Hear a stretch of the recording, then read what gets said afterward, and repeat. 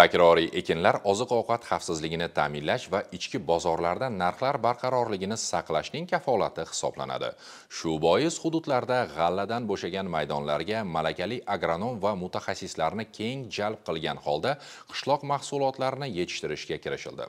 Xususan andijon viloyatida mavjud 74 ming gektar maydonda ixtisoslashuv asosida unumdor serhosil navlarni ekib parvarishlash orqali 48 ming nafardan ortiq fermer xo'jaliklari a'zolari hamda ijtimoiy daftarlarda ro'yxatda turgan va chetdan qaytgan ishsiz fuqarolarning mavsumiy bandligi ta'minlanmoqda.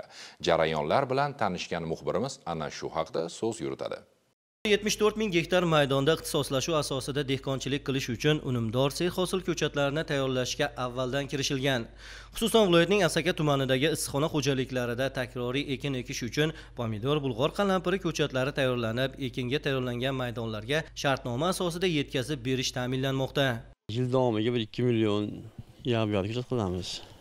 Shu mana shu vodiyga voha tomonlarga chiqaramiz ko'chatlar nimalarga e'tibor berish kerak? Shu maydonlarga ekilgan paytda buni avvalambor buni namligiga e'tibor berish kerak namligiga ko'chat sog'lomligiga e'tibor berish kerak. Tumanimizda axtachi otish obod mahallalarimizda ko'chat yetishtirish bo'yicha ixtisoslashtirilgan mahallalarimiz bo'ladi.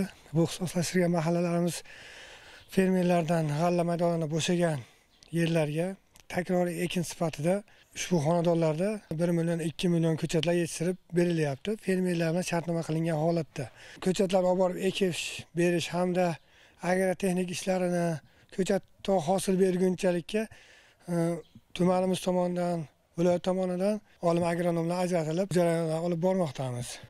Andijon viloyatida 2024 yil g'alla hosilidan bo'shagan maydonlarda sabzavot poliz kartoshka dukkakli va boshqa ekinlarning tezpishar navlarini qisqa muddatlarda ekish parvarishlash va yetishtiriladigan hosilni nesli nobud qilinmasdan yig'ib olish saqlash qayta ishlash eksportga yo'naltirish hamda aholi bandligini ta'minlash bo'yicha tizim ishlab chiqildi.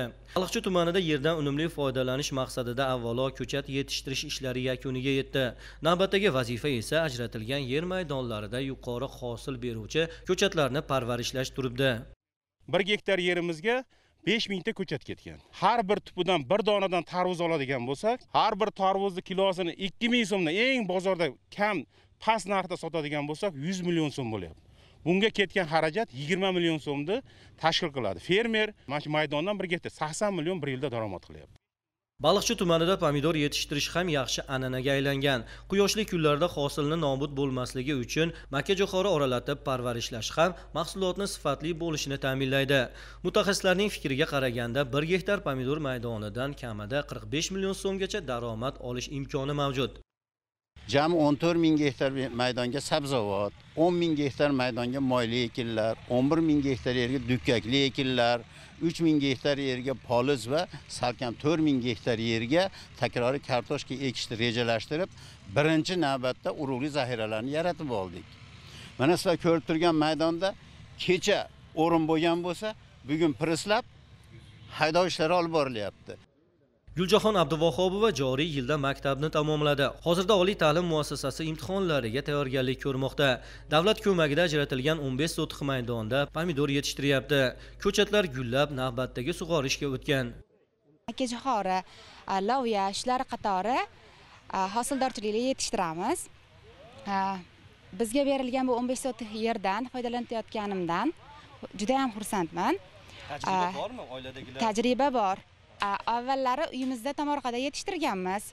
Va hozirda buni prezidentimiz tomonidan berilgan yerda sinab ko'ryapmiz. O'n besh sotikdan bizga yer berildi mana hozir takroriy ekinga.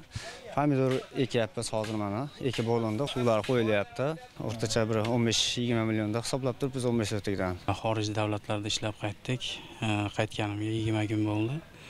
Shu prezidentimiz tomonidan shu xorijdan qaytganlarga shu yer berilgan ekan toruz ekdik. Shundan daromad olishni mo'ljallab turibmiz bundan keladigan daromad e, yigirma yigirma besh million e, foydani mo'ljallab turibmiz.